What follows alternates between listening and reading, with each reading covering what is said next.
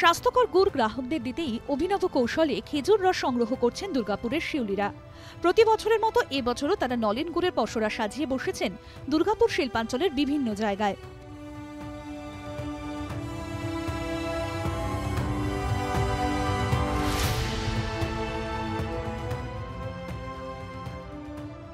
বীরভূম, নদিয়া সহ একাধিক জেলা থেকে শিল্পাঞ্চলে আসেন শিউলিরা। তবে এই বছর এক নতুন কৌশল অবলম্বন করে খেজুর রস তারা সংগ্রহ করছেন মাটির কলসিতে। গাছের আগায় কেটে সেখান থেকে একটি দড়ি বেঁধে কলসি ঝুলিয়ে দিয়েছেন গাছের গোড়ায়। আর সেই দড়ি বেয়ে রস এসে জমা হচ্ছে মাটির কলসিতে।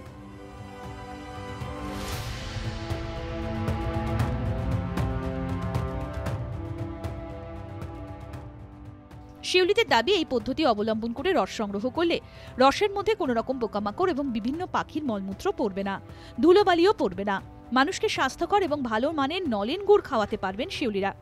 এছাড়া প্রতিদিন গাছে চড়ে রসের হাড়ি নামানোর শ্রমও অনেকটাই লাঘব হবে তাদের। পাশাপাশি মাটির হাড়িতে সংগ্রহ করা রস স্বাস্থ্যকর বলে দাবি দুর্গাপুরের শিউলিদের।